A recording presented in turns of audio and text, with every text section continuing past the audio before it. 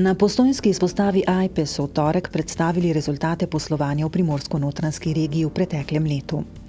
Kot je povedala direktorica Larisa Benasi, so družbe v naši regiji poslovale zelo uspešno. Uh, ustvarile so uh, neto čisti dobiček v znesku 66 milijonov 590 tisoč evrov.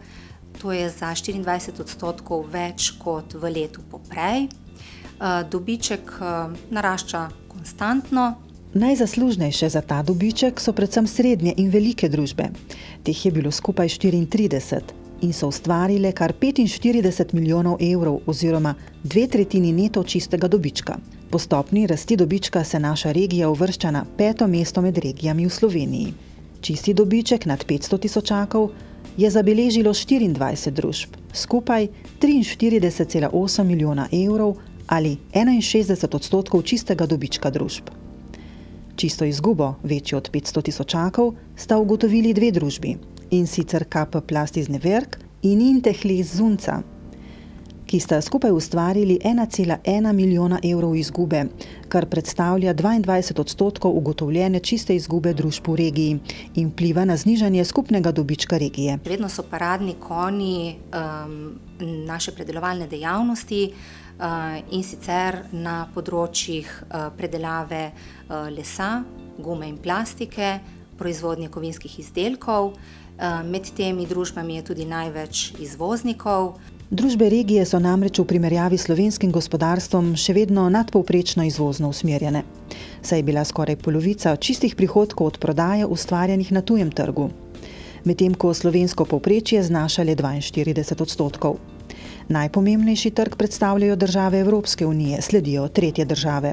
Zaznati je tudi, da um, družbe pomemben del uh, svojega poslovanja financirajo z lastnimi viri. Uh, 49 odstotkov um, uh, vseh uh, uh, torej finančnih sredstev predstavlja uh, kapital, lastni kapital. Um, zaznati pa je tudi rahlo povečanje uh, kratkoročnih in tudi dolgoročnih obveznosti, ampak to je posledica povečanega obsega poslovanja. Kot kaže, so se družbe iz pretekle krize marsičesa naučile.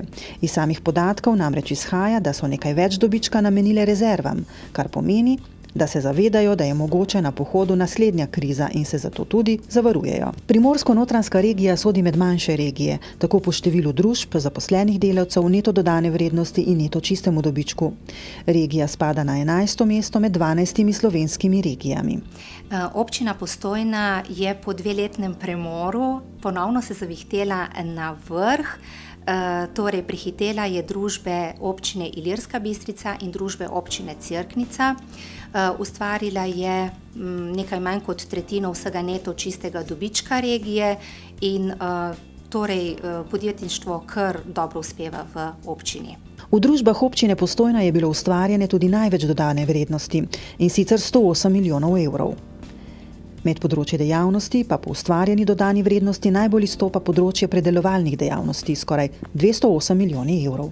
Povprečna mesečna bruto plača na zaposlenega pri družbah v regiji je znašala 1443 evrov in še vedno za 13 odstotkov zaostaja za republiškim povprečjem. V napovedih pa je Benasjeva previdna. Eh, glede na vse te podatke, ki smo jih pridobili iz letnih poročil, eh, ocenjujem, da je gospodarstvo regije kar previdno in eh, da torej zelo uspešno posluje. Predvidevam, da se bo uspešno poslovanje nadaljevalo tudi v tem letu, ampak seveda s kančkom previdnosti še naprej in z očesom na te naše tuje poslovne partnerje, s katerimi seveda obsežno poslujemo. Med 13. in 19. majem poteka v Sloveniji že 20. nacionalni teden prostovoljstva, namenjeno zaveščanju najširše javnosti o vlogi in pomenu prostovoljstva. Na slovesnem dnevu prostovoljstva v Črni na Koroškem je župan Igor Marentič v imenu občine Postojna ponovno prejel naziv prostovoljcem prijazna občina. Včeraj pa so na osrednji prireditvi Postojna živi v ulici z mladimi z naslovom Povej jim nekaj lepega v organizaciji občine Postojna, regijskega stečišča nevladnih organizacij Borejo in medobčinskega društva prijateljev mladine občin Postojna in Pivka podelili priznanje tudi mladim prostovoljkam in prostovoljcem. Ja, res je. Postojna je letos drugič prejela naziv prostovoljstva prijazno mesto in sicer v slovenske filme filantropije, katera je prepoznala prostovoljstvo v našem mestu, tako da zdaj smo v elitni družbi 20 občin v Sloveniji, torej 10% občin ima ta laskavi naziv, na katerega smo lahko ponosni tako mi, kot tudi konec koncev tudi država, ker prostovoljstvo je zelo močno prisotno v vseh družbenih sferah našega življenja, na kar smo seveda absolutno ponosni. To so ljudje, ki odrekajo del svojega življenja, del svojega prostega časa in ga namenjajo drugim, kar je resnično plemenito dejanje.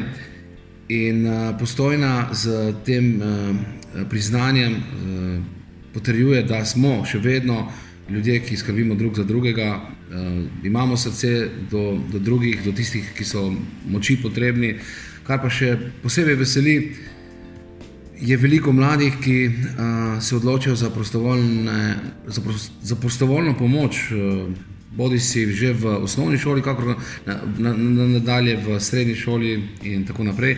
Skratka, mladih je veliko, pomagajo drug drugemu, pomagajo starejšim. In uh, to je tista dodana vrednost, uh, da uh, ni vse v denarju, oziroma v času, ker danes vsi se pahamo za časom, čas je denar, ampak uh, nekateri tudi. Uh, pomagajo in pristopajo k pomoči drugim, tudi brez kakršnega koli nadomestila. Konec koncu najlepša nagrada je pohvala. Uh, pohvala sem pripričan, da je vsakemu prostovoljcu veliko več, ali pa se tisto, tisti občutek, da so nekomu pomagali, naredili nekaj lepega, nekaj dobrega za druge, uh, je veliko več vredno kot kakršno koli uh, materialno nadomestilo. Tako da čestitke vsem prostovoljcem, ki jih imamo, uh, čestitke tistim, uh, ki so letos prijeli uh, tudi naziv prostovoljec leta v občini Postojna. Skratka, hvala, ker vas imamo, hvala, hvala ker ste.